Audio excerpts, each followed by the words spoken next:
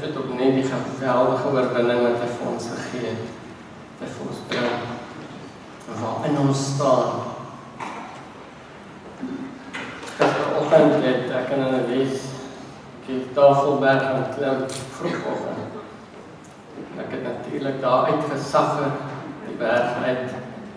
Maar ek het toe goed het ons gesien wat ons nog nooit gesien het nie. En onmiddellik het die Here met my gepraat en gesê maar dit is 'n boodskap vir iemand vir oggend hierso. En die eerste ding wat ons gekom het is ek kom nog so en sy sê iets en ek trap amper bo op 'n slang. Maar die slang maak so vinnig dat hy uit die pad uitkom. En die Here sê vir my op slange en adders oor hulle sal jy loop, maar niks sal jou oorkom nie. Maar dat Satan van jou sal wegvlug. En iemand is besig om 'n berg te klim hierso. Miskien meer as een. En die Here wil vir jou sê in hierdie proses van klim sal Satan voor jou wegvlug as gevolg van Jesus Christus in jou. Maar dit is nie al net toe ons nou eentjie verder gaan en ons begin so die kraansie opgaan toe ewe skielik stop ons hoor hier geraas. Toe staan hierdie reuse, hulle noem dit 'n Himalayan taar, is 'n bok wat hulle in Tafelberg kom sit het. Maar hierdie reuse bok met sy horings staan en kyk vir ons in die middel van die paadjie. En so begin hy stap. Hy hardloop nie weg nie. Hy begin stap in die paadjie. Hou sy afstandjie my stap in totale vrede. En toe ewe skielik toe sy daar af op 'n plek waar 'n mens kan af en hy is daar af. En die Here sê vir my: I will make your feet like the feet of a deer and I will enable you to go on the high places and be safe on the high places. So ek wil vanmôre vir wie ook al jy is wat besig is om 'n berg te klim, wil ek vir jou sê en kom bemoedig dat Satan sal voor jou uitvlug. En die Here gaan jou in staat stel om op daai onmoontlike plekke veilig te wees. In hierdie proses sal jy veilig wees. Want hy kom maak jou voete soos die van 'n bok wat op daai plekke kan beweeg. So Here, ek wil net vir U sê dankie. Dankie vir U goedheid, dankie vir U oorwinning. Dankie vir die lewe wat ons het in U. Here, daar's niks wat ons nie het nie, want ons het alles in U. En daarom kan Paulus sê maak nie saak wat se omstandighede is nie, I can do all things through Christ who strengthens me. Here mag vanoggend daai boodskap van through Christ opnuut in ons binneste opgaan. Mag ons opnuut glo in U Jesus wat ons in staat stel om op die hoë plekke te gaan, om deur enige omstandighede in oorwinning te kan gaan. Ons loof U naam, Here, kom bid dat U die woord vanmôre sal oopmaak. Heilige Gees, dat U die een sal wees wat bedien. Here, dat hulle my nie sal raak sien nie, maar Here dat hulle u woord sal hoor en dat u dit sal verpak presies hoe u dit wil oordra aan elkeen. In Jesus naam, dit is u woord. Amen. O, oh, is lekker warm. Strome waters wat hier agter my rug afgaan dit um, ja. Afvul ons dit maar op.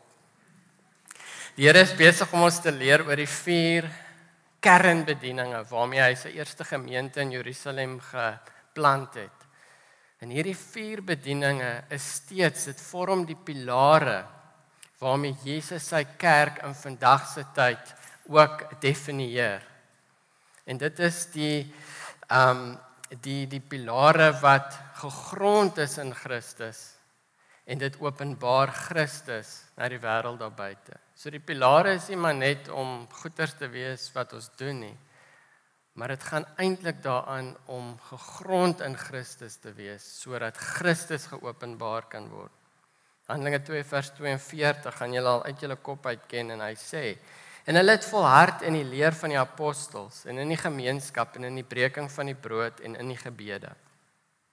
So kom ons maak gou weer die vier pilare vas. Dit is belangrik dat ons dit ken dat as jy wakker word in die nag, dan weet jy wat is die vier pilare. Dan weet jy waar is kerk gebou? Hoekom kom jy kerk toe? Die eerste een is die leer van die apostels. Dis waar Jesus Christus homself kom gee het vir sy kerk as die lewende woord waarmee hy ons voed. So as kerk het hy vir ons die pilaar van sy woord gegee om ons te voed met homself. Die gemeenskap is in ons saam wees, in ons gemeenskap wees as gelowiges maak ons Jesus se liggaam sigbaar na buite.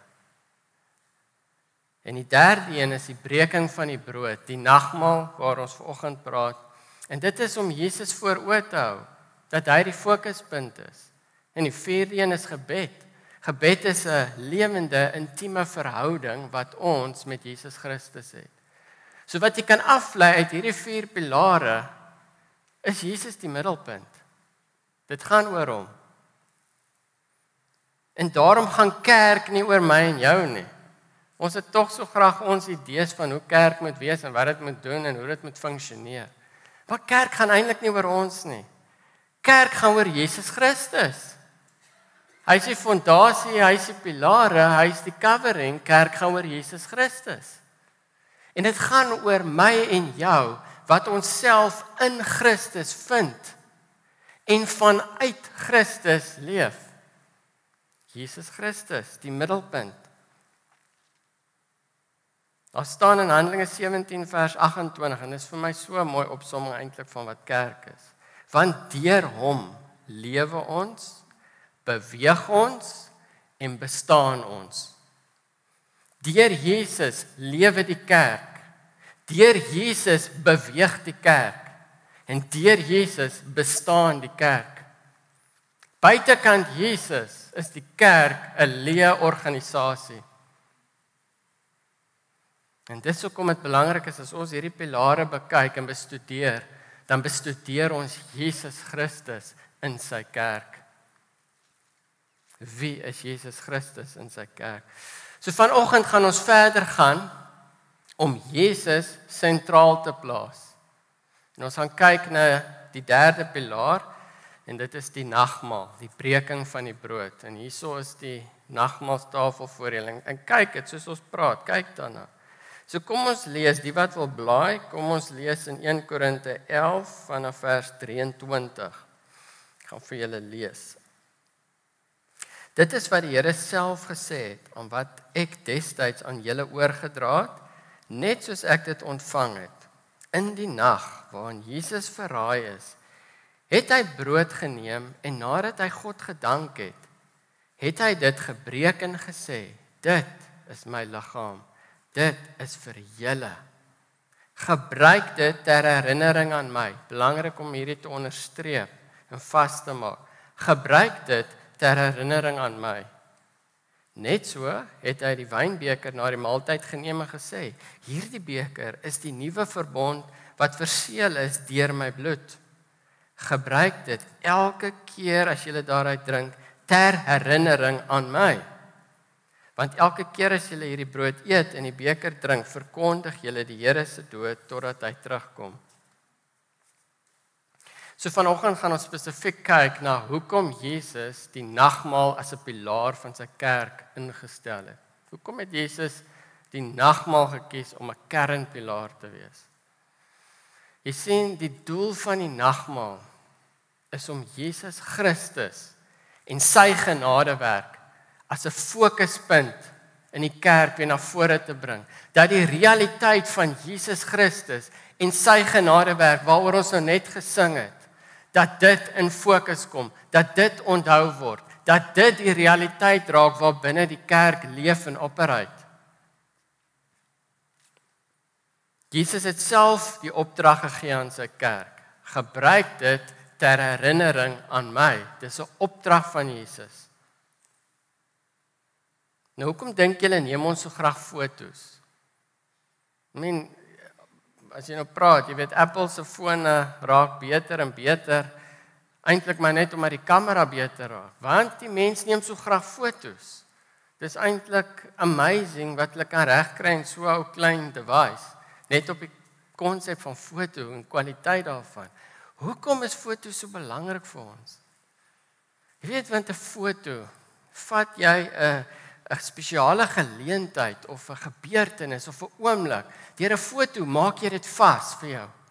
Jy wil daai oomblik kan vashou vir so lank as wat jy kan. Dis hoekom jy 'n foto neem. Sodat wanneer jy na daai foto kyk, jy weer opnuut daai die mooi van daai en die ervaring opnuut kan beleef. So die mooi en die goed van die verlede bly voortleef deur die fotos wat ons neem. En dis hoekom daar nie een mens is wat nie iewers fotos het nie. En ons het verskillende dinge waaraan ons wil vashou. En ons gebruik ons fotos om aan vas te hou.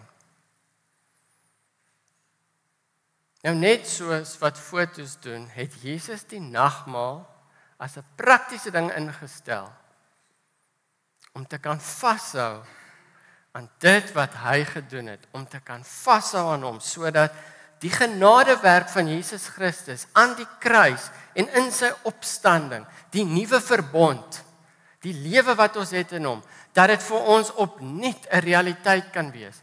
Elke keer wat ons die nagmaal gebruik, dan kom die mooi en die goed wat Jesus gedoen het weer na vore. En so bly Jesus in die fokuspunt. So bly Jesus in die middelpunt. En dit is hoekom hy die nagmaal vir ons gebring het. Nou hierdie opdrag van Jesus, gebruik dit ter herinnering van my. Is 'n opdrag waarna ons actually baie met baie meer erns moet na luister. Weer ons baie opdragte en ons is geneig om sekere opdragte geweldig op te fokus. Maar hierdie is 'n kernpilaar opdrag van Jesus aan sy kerk. Gebruik dit ter herinnering van my. En ek het baie sterk ervaar in my voorbereiding as dat die Here sê, ek het eers iets anders in gedagte gehad en die Here het my dit laat uitvee en hy het gesê dis wat ek wil sê vir die gemeente. Hier's iets geweldigs op Jesus se hart rondom hierdie opdrag. Gebruik dit ter herinnering van my. En hoekom moet ons dit met soveel erns opneem? Jy sien, my voortbestaan van die kerk is nie afhanklik van my en jou werke in my en jou betrokkenheid in my en jou hier wees nie. Die voortbestaan van die kerk hang af van ons afhanklikheid, ons direkte afhanklikheid van Jesus Christus. Dit is waar die voortbestaan van die kerk leef. Dit is waar die krag van die kerk leef. Lê in Jesus Christus as die middelpunt. En dis hoekom daai opdrag van Jesus so belangrik is want hy is Dis 'n desperaatheid van sy hart dat ons hom as middelpunt moet hê, dat hy in die middel staan. Want Jesus se hart is vir sy kerk, vir sy bruid. Volgens Johannes 15 vers 5 roep Jesus ons juis op om te sê kom bly in my. En dan sal julle die vrug dra. Die werke van die koninkryk sal vloei want dit is Jesus se werke. Dis sy werke wat hy doen. Dis sy vrug wat hy oplewer. Dis bonatuurlik. Dit kom uit hom uit. Maar hy sê vir ons kom bly in my. Want as jy nie in my bly nie, dan gaan jy nie in die bonatuurlike werke en vrug van die van die Here stap nie. En die Here se hart is nie dat sy kerk met paptaiers sit nie. Here se se hart is dat sy kerk lewendig, vol van sy krag en sy werkinge is, sodat sy kerk impak het, maar dit vra van my en jou om in hom te wees.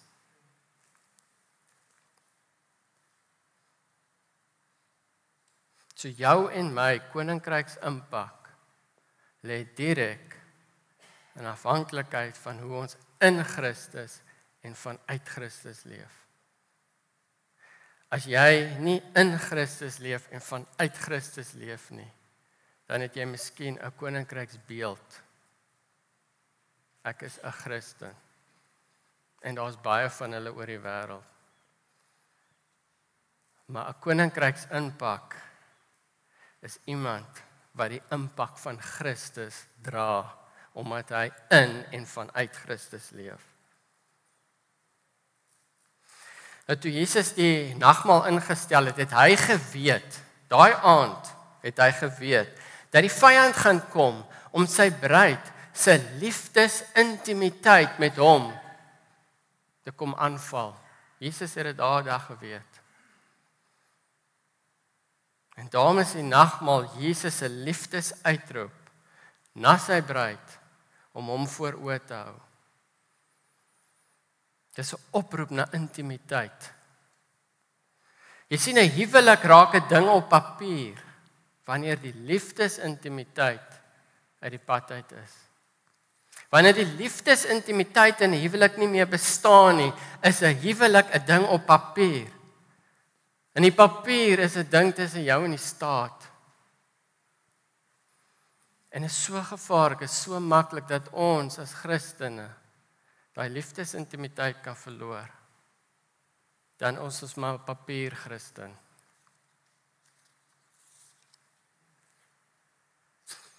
En ek het gevra, Here, kan die kerk so maklik sy koneksie met met hom verloor? Kan die kerk te midde van kerk wees in die rent van Jesus vergeet? Is dit moontlik?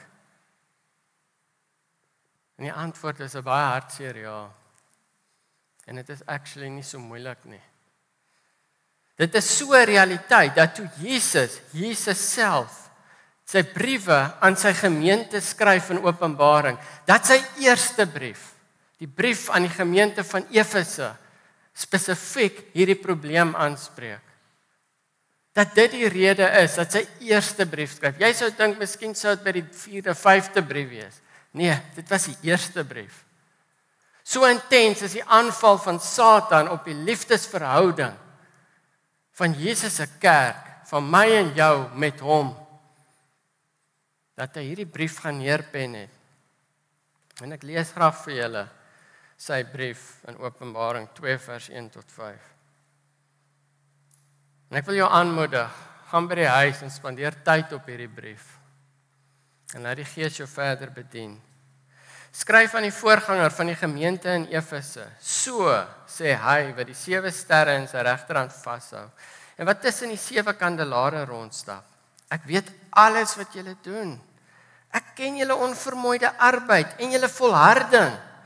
Julle kan nie slegte mense verdra nie. Julle het ondersoek ingestel na die mense wat voorgee dat hulle apostels is en dit nie is nie.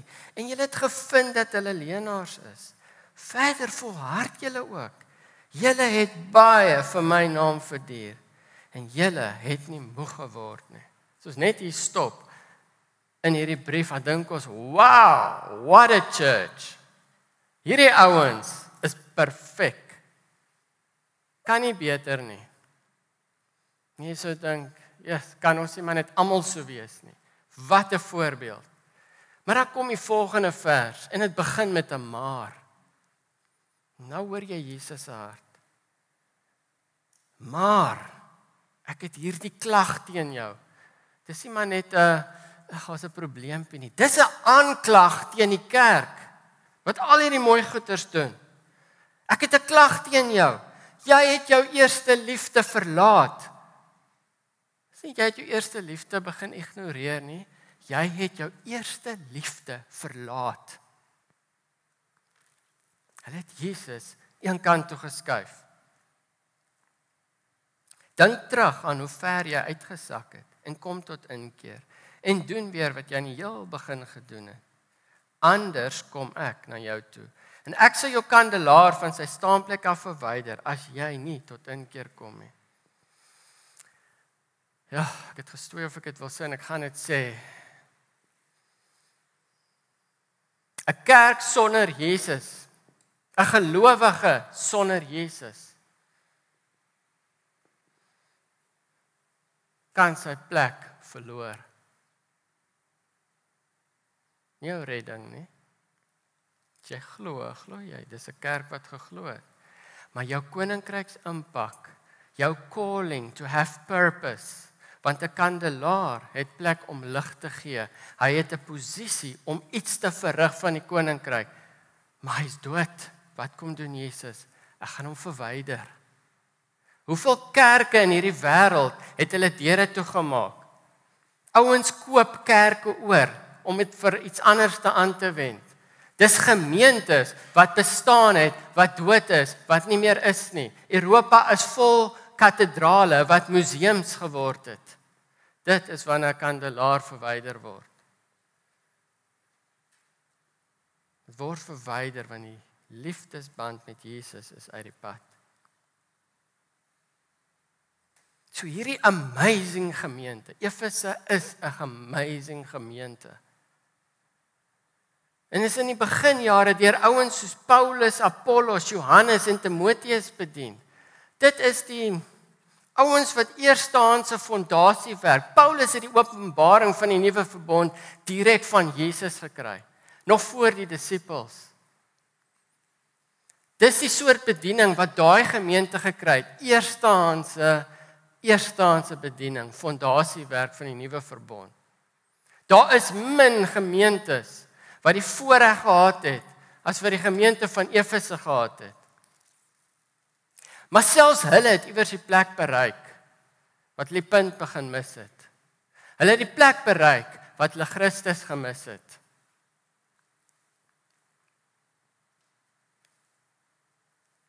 En as dit met die gemeente van Efese kan gebeur, Wees logos dat dit met ons kan gebeur hè. Wees logos. Dink ons ons voortbestaan is maar net vasgemaak omdat die Here die kerk geplant het. Hy het Efese ook geplant.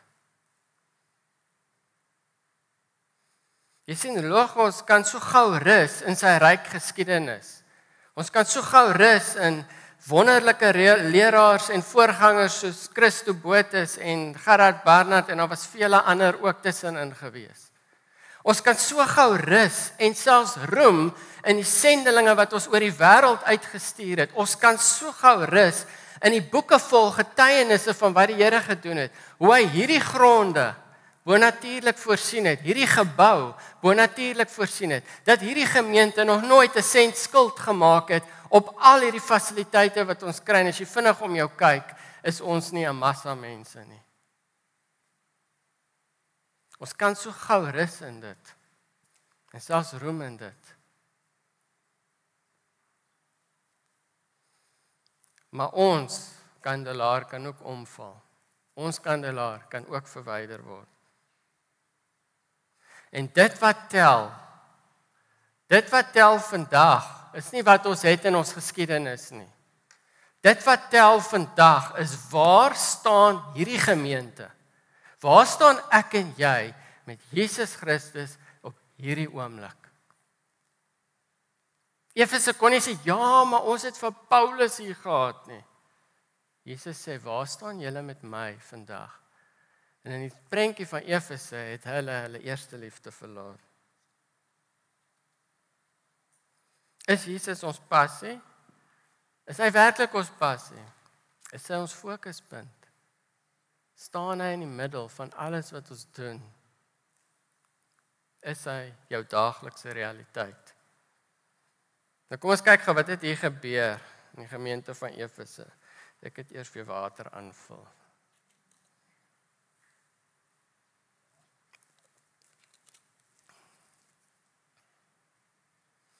Sien wat het hier gebeur in Efese. Hulle was geweldig bedrywig met hulle goeie en harde werk vir die koninkryk. Hulle het alles met volharding gedoen. Nou selfs volharding raak 'n uitdaging vir die kerk van vandag. Ons ons kom halfpad en ah, dit is so lekker nie en ons stop ons begin iets anderste. Nie Efese nie. Hulle het gevolhard. Hulle het 'n ding gedoen en dit het moeilik geraak, maar hulle het dit eintyd gedoen. Hulle het dit klaar gedoen en Jesus het dit raak gesien. Hulle het 'n goeie onderskeidingsvermoë gehad. Hulle kon sien wanneer kom 'n ou hier voor staan en 'n klomp nonsens praat. Wanneer is hy besig om leuns te praat? Wanneer is wat hy sê nie belyn met die woord nie? Hulle het daai vermoë gehad. Hulle het dit gedoen. Hulle het getoets en hulle het gevind wat is reg en verkeerd. Hulle het weerstand en teenkanting beleef. Persecution het hulle beleef as gevolg van hulle assosiasie met Jesus Christus, met sy naam. Te sê ons staan vir Jesus. En hulle het persecution ervaar.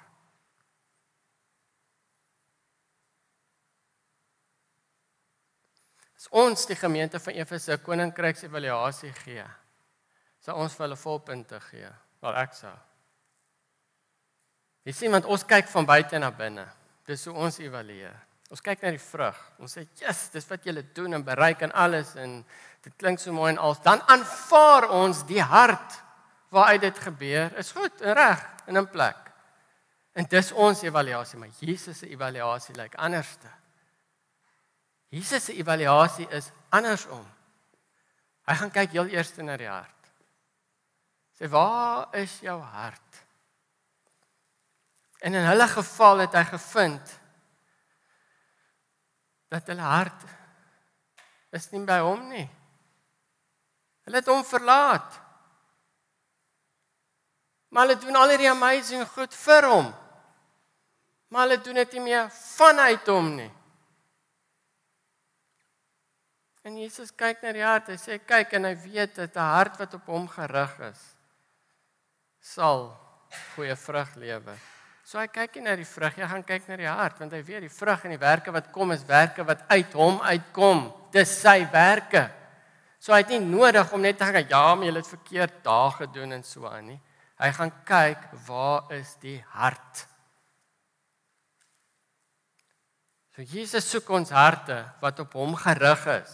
Dis hoekom hy sê, doen dit ter herinnering van my harte wat op hom gerig is.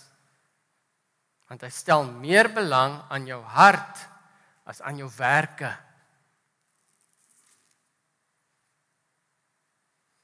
Want hy weet as hy jou hart het, sal hy sy werke deur jou kan doen en dis hoekom Jakobus sê ware geloof lewer werke. Altyd mos daai gestoeiery, is dit nou werke en geloof, jy weet daai ding. As jy 'n nuwe verbond verstaan of verstaan jy wat Jakobus daai eintlik sê, al praat dit dalk vir jou te mekaar. Maar wat hy daar sê as jy ware geloof in Jesus Christus het, het jy nie 'n keuse nie, die werke gaan kom. Dit is die bewys van die geloof wat jy het. So Jesus is nie bekommerd gaan jy net die werke doen nie. Hy's bekommerd waar is jou hart? So wat het fout geloop by Efese? Want dan moes iets fout geloop het. So kom ons kyk wat het fout geloop. Hulle was 'n kerk met oortuiging van Jesus. Hulle het geglo in hom. Hulle was nie ongelowig nie. Hulle was gelowiges. Dit was 'n gemeente met 'n oortuiging van Jesus Christus. Het hulle werke met volharding gedoen as gevolg van 'n motivering wat gekom het uit hulle oortuiging. So hulle was gemotiveerd, gemotiveerd deur Jesus. They had a cause. Vir al daai goed wat hulle doen. Jesus was hulle cause gewees. En ons leef in 'n tyd wanneer is 'n kenmerk van die millennial. Ek is so half op die einde deel van die millennial groepering. Maar dit is 'n kerneienskap van die millennials is dat hulle hou van 'n cause. Jy het in jou lewe nog nie soveel causes gesien as wat jy gaan. Dit sou kom crowdfunding en al hierdie goeders so geskielik net ge ontplof het. Want dit van causes. Mense, die millennials hou van 'n cause. As dit nie mense is nie, as dit diere is, dit BLM en al ons cricketspelers het 'n cause dat hulle rondkruip voor die voor 'n wedstryd. Maar dit is so mense raak verlore in 'n cause. En selfs as jy sien, as jy nou op sosiale media gaan, dan gaan jy sien Pray for Ukraine het 'n kos geword en dit is vir my hartseer. Want hoeveel mense bid werklik waar? Hoeveel mense verstaan regtig Jesus se hart in hierdie saak? As wat dit maar net 'n kos is waaraan ek deel voel en ek voel gemaklik en goed om geassosieer te wees met 'n kos. So Efese was 'n gemeente met 'n kos, maar Jesus was hulle kos. So hulle was gemotiveer deur Jesus. My probleem was hulle het so gewoeker in hierdie kos wat hulle gehad, so gemotiveerd gewoeker. Dat wat gebeur het is hulle het so begin al die goeders doen dat die bron, Jesus Christus, het hier bly staan. En hulle het al daar getrek met al die goeie ding want hulle is gemotiveerd vir deur Jesus. Maar hulle het nie vanuit hom nie gedoen nie. Hulle het hom laat staan en aangegaan met al hulle goeie werke. They had the cause without the source. Sy het kan opsom. Hulle het nie die bron gehad nie. So hulle het hulle eie bron geword. Bottom line is hulle het baie goeie werke vir Jesus gedoen en hulle het selfs die die prys daarvoor betaal maar hulle het dit nie vanuit hom gedoen nie. Hulle het dit nie vanuit 'n liefdesverhouding met hom gedoen nie. So dit was goeie dade, maar dit was nie liefdesdade gewees nie. Jesus soek liefdesdade. Dade wat vanuit liefde vir hom gebore word. 1 Korinte 1 vers 9 sê: God is getrou. Hy wat julle geroep het om verenig te lewe met sy seun, Jesus Christus ons Here. As jy vandag hier sit en jy sê ek weet nie wat is my roeping nie, wil ek vandag vir jou kom sê wat is jou roeping? Elkeen van ons se primêre roeping sê God vir ons nou net in hierdie skrif. Ons primêre roeping is om verenig met Jesus Christus te leef. Is om in intimiteit met Jesus Christus te leef. Want vanuit daai posisie gaan hy vir jou stuur en elke ander dingetjie en al die sekondêre dinge in. Feit dat hy my geroep het om hierso te staan, is 'n sekondêre roeping. As my primêre roeping nie in plek was nie om verenig met Jesus Christus te leef, sou my sekondêre roeping nie kan gebeur nie want dit sou kragteloos wees. So jy weet nou wat is jou roeping? Ons primêre roeping is om te lewe vanuit eenheid, liefde en koneksie met Jesus Christus. Hy wil die bron van jou lewe wees. En met die nagmaal kom roep hy ons juis op om hom in herinnering te bring dat ons kan evalueer, waar staan ek met Jesus? Leef ek nog uit die bron uit? Of het ek soos Efese begin woeker met motivering vir Jesus, ek het hom agtergelaat?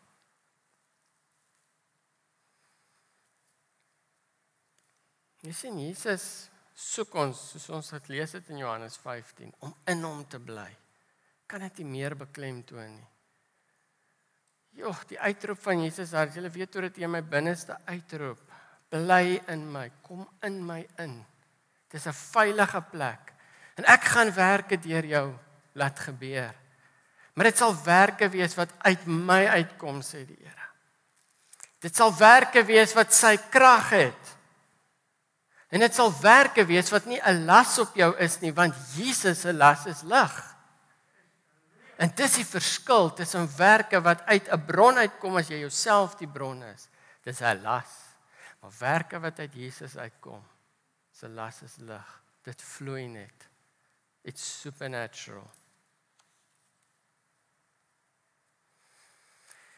Efesiërs 2 vers 10 want ons is God se handewerk. Hy het ons in ons eenheidsband met Christus Jesus so gemaak dat ons die goeie werke wat hy vir ons bestem het, kan uitlewe. Wat is die kernwoord? Eenheidsband met Christus. Sodat ons werke kan uitlewe. Kom verduidelik julle gou-gou rondom 'n beeld. Ehm um, In Christus het God jou hierdie perfekte volmaakte blink Ferrari gemaak. Pragtig, volledig. Kom ons sê sommer 'n mooi rooi Ferrari, bloed van Jesus, ons is perfek volmaak gemaak. Daar's niks duitjies, niks in nie want hy het al daai dinge uitgesorteer. Maar jou koneksie, jou eenheidsband met Jesus is die antwoord in daai hele ding. Want as daai eenheidsband en daai koneksie nie daar is nie, dan is jy 'n pragtige Ferrari sonder petrol. En laat ou dink, nê, is dit nie die beeld van die kerk in baie opsigte daar buite nie. Pragtige Ferraris, vertoon lokale vol Ferraris. Maar as die petrol nie. Jy sien die koneksie met Jesus is die petrol in daai Ferrari. Dis wanneer Jesus die bron is. Nou sonder die petrol, sonder koneksie met Jesus kan daai Ferrari nie sy skepingsdoel beleef nie. Daar is nie as dis dis onmoontlik vir daai Ferrari om sy skepingsdoel te beleef van snelhede te bereik en daai krag te kan voel waarvoor hy gemaak is. As daar nie petrol is nie. Jy sien, daai Ferrari kan nog steeds beweeg met baie effort.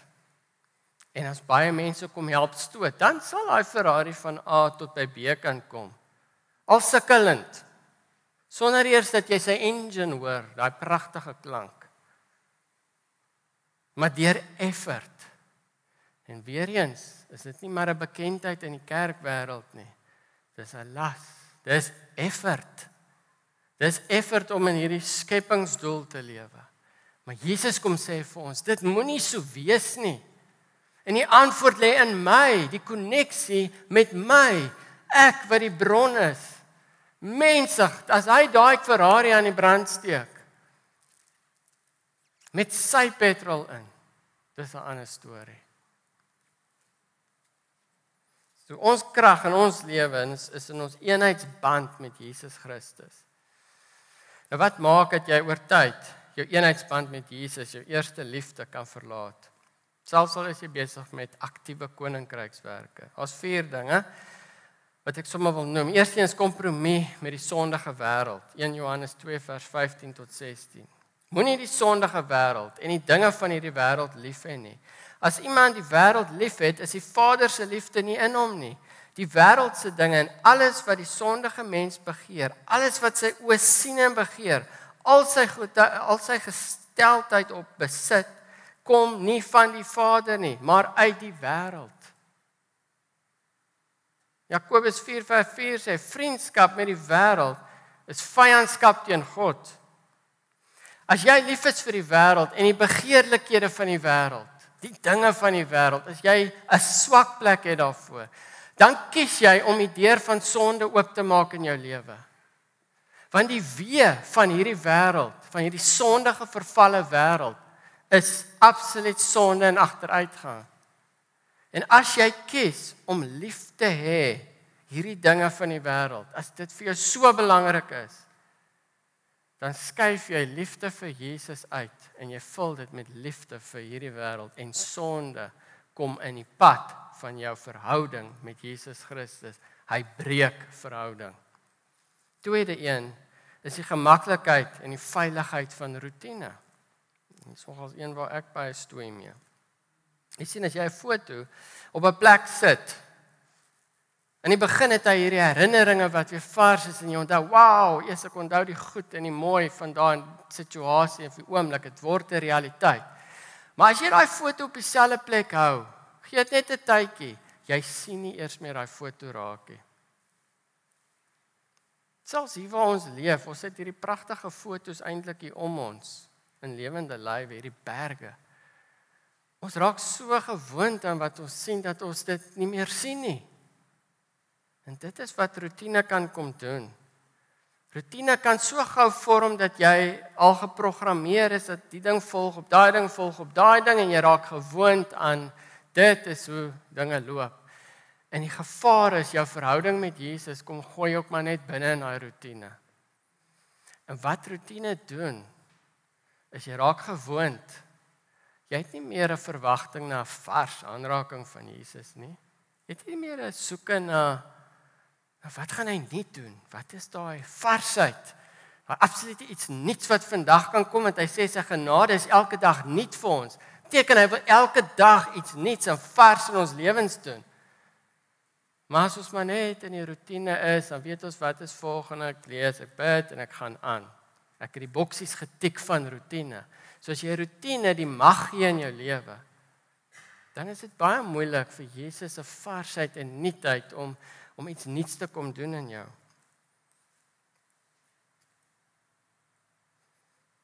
Die derde een is die eie ek en my eie ambisie. Jy sien eie eie ambisie is wanneer jy jou werk doen en jy's betrokke vanuit 'n plek om te kyk wat jy kan kry daaruit. Dit gaan oor jou.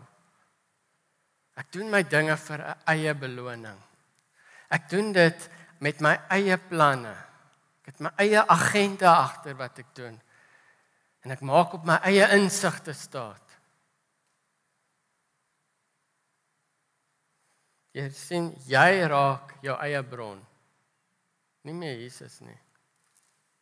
Jy raak so gewoond dat jy moet hierdie ding maak werk. Jy moet jou verhouding met Jesus maak werk. Jy moet jou werke gaan doen. Die bediening hang van jou af en wat jy moet doen. Daai eie ek met sy eie agenda en as Satan net kan kom en so 'n bietjie daarin gooi, net vir jou kry om jou eie planne te wil volg. As dan wanneer 'n skeiding kom in jou varsheid van jou verhouding met Jesus. Jy sien jy word 'n selfonderhoudende Christen.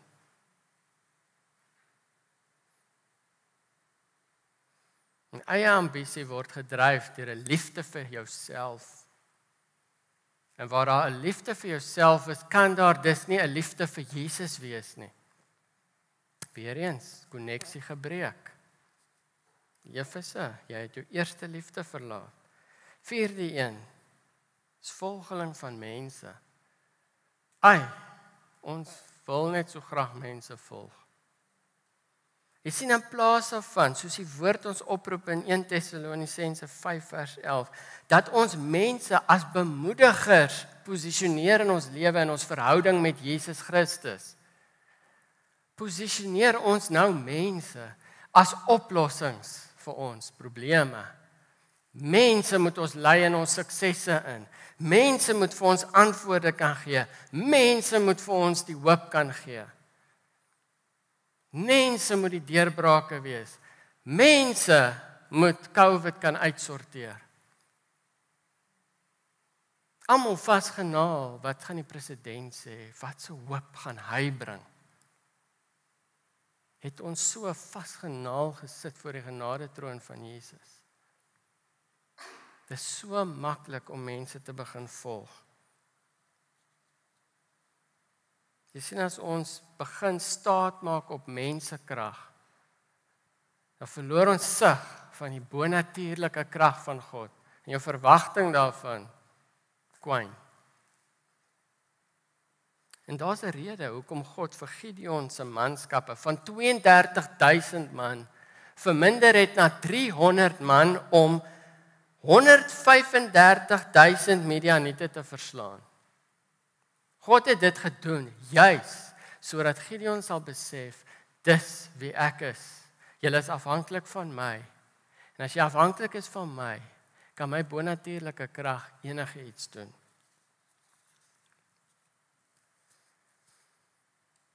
So ons hoor nou al hierdie goeters. Hoe herstel ons intimiteit? Hoe maak ons weer Jesus die fokuspunt, die middelpunt? Hoe keer ons hierdie hele storie om? Hoe kan Efese maak dat sy lampstaander bly staan het? Jesus gee vir ons die antwoord, nie mense nie. Hy gee vir ons die antwoord in daai selfe brief. Hy sê drie dinge. Hy sê dink terug aan hoe ver jy uitgesak het en kom tot inkeer en doen weer wat jy aan die heel begin gedoen het. Dit is baie eenvoudig.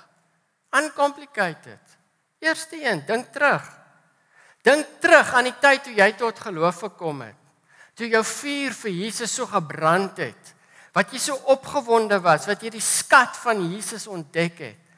Dink terug aan daai tyd, vat jy daai honger en begeerte na hom gehad het. Wat jy na die een byeenkoms na die ander een gegaan het om net nog en nog te kan kry want jy het hierdie absolute honger wat gedryf is van 'n liefde vir Jesus. Onthou jou opofferings en keuse wat jy absoluut vanuit liefde gedoen het vir Jesus en dit was vir jou die lekkerste ding om te doen. Onthou hoe hy met jou praat en die lofliedere wat in jou opgegaan het, daai absolute joy of the Lord wat in jou geleef het. Onthou daai dinge. En dan met daai in jou geheue, dan kyk jy na waar jy staan vandag. Hoe lyk my verhouding met Jesus vandag op hierdie oomblik? Hoe lyk my paadjie vandag? Waar staan ek met Jesus vandag? Evalueer jouself. Het jy gegroei in Jesus of het jy teruggesak? Dis wat hy vir ons sê. En as jy besef jy het teruggesak, as jy geëvalueer het en jy besef jy het teruggesak, dan kom die Heilige Gees. En hy plant 'n saadjie van disconnect in jou binnekant. Ag, 'n discontent in jou binnekant rondom jou huidige verhouding met Jesus. Hy plant daai saadjie en dan begin roer dit jou hier binne. En dan wat doen ons met die discontent? Dan sê Jesus die tweede ding, kom tot inkeer. Bereik die plek van berou en verlies om te sê, "Jo, what have I missed? What have I done? Where have I gone?" Kom tot daai plek van berou en verlies. En dan maak jy die keuse om om te draai. Jy druk die geestelike reset knoppie. Sê vandag stop dit.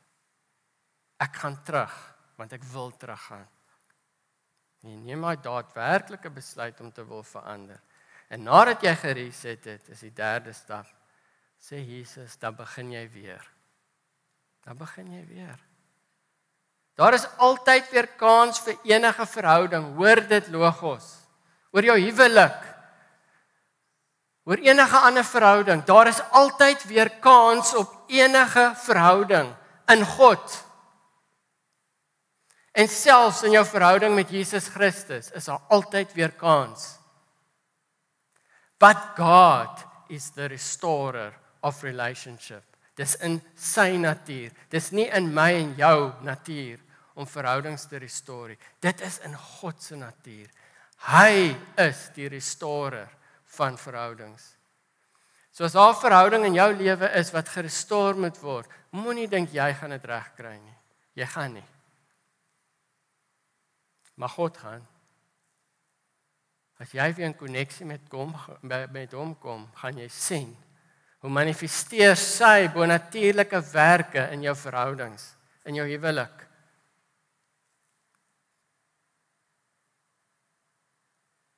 So ons moet weer Jesus opnuut soek en ons verbintenis met hom herstel. Ons moet eenvoudig Hebreërs 12 vers 2 doen. Ons moet ons oë op Jesus rig die begin en die volëinder van ons geloof. Hy het ons geloof begin. Hy is die een wat dit perfek maak. Wat moet ek doen? My oop Jesus rig. En dit is hoekom hy die nagmaal vir ons bedien.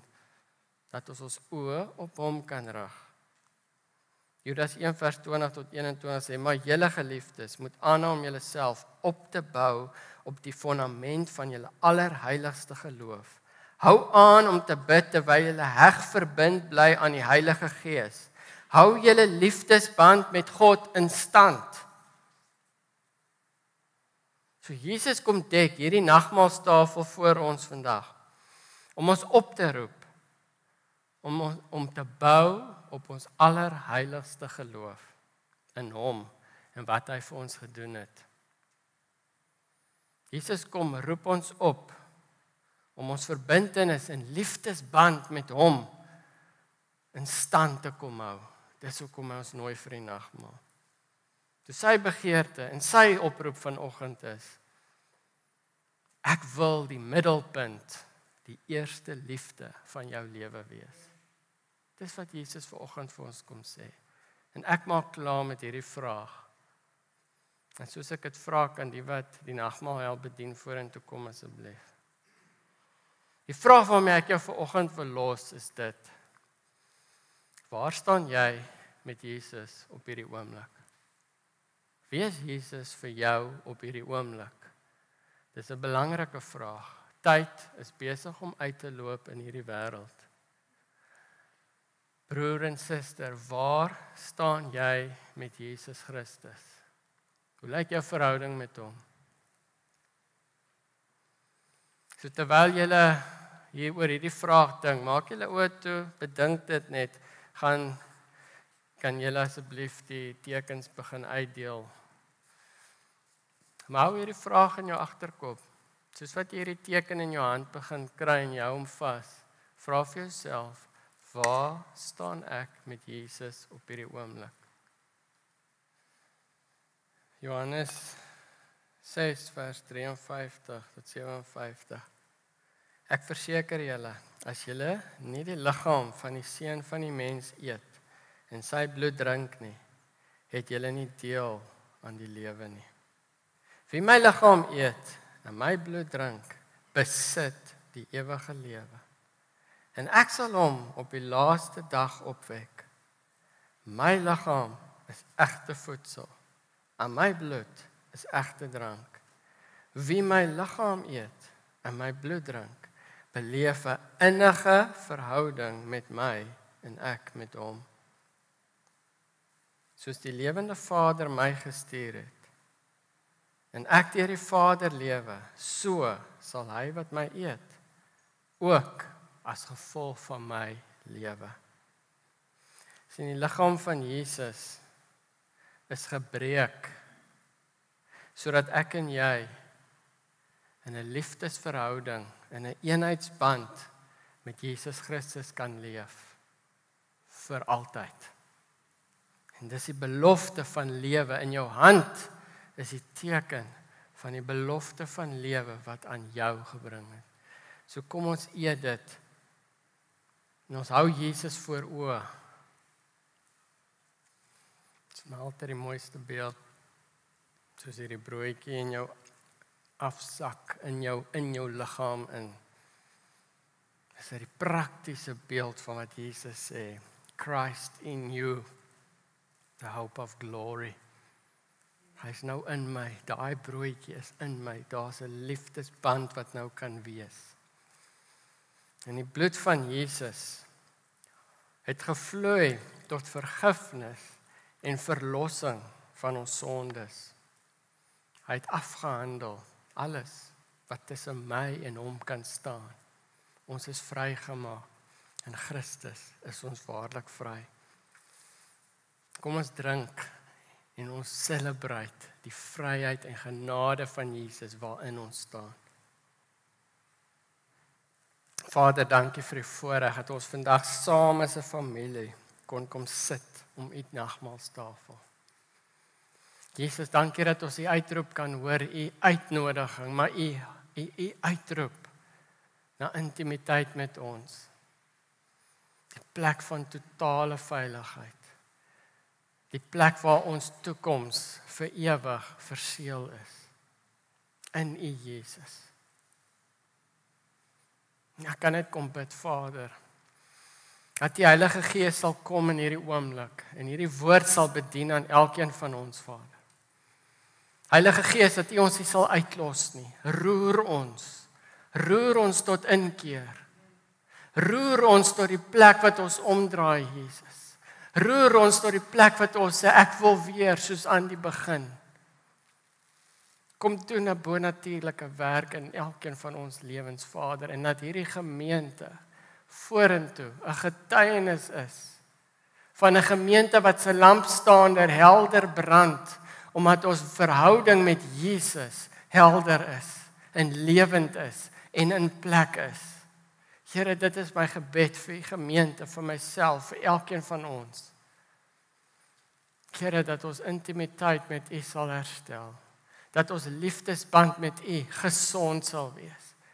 Here, dat ons U Jesus voor oë sal hou in alles wat ons doen en waar ons gaan. Ek sê vir U dankie Jesus dat U ons in staat stel, dat U die een is wat die werk doen, dat ons waarlik in U kan kom rus.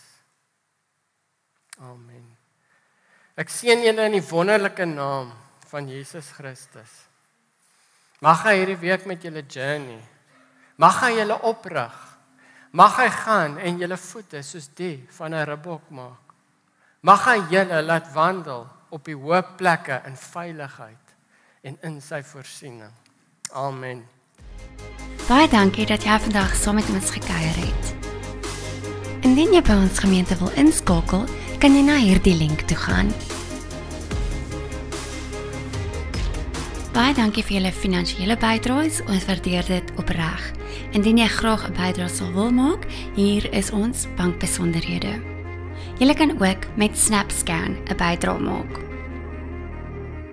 Logos het ook 'n COVID-19 noodfonds gestig en indien jy graag 'n bydrae tot hierdie fonds wil maak, hier is die bankbesonderhede.